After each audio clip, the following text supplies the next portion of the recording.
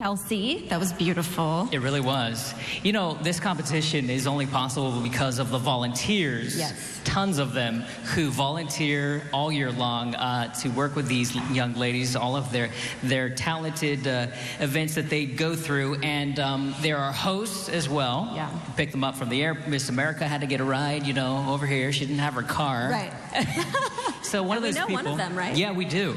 We he, we want to brag about our boss, our general manager of CBS 47, Matt Rosenfeld. He is one of those people. He volunteers countless hours all the time for several organizations. Yeah, he does. This one being one of them. And so shout out to him. He's out here somewhere. we know he's here somewhere. Hi, Matt, wherever you are. Matt Rosenfeld. So thank you to him and all of our volunteers who make this all possible.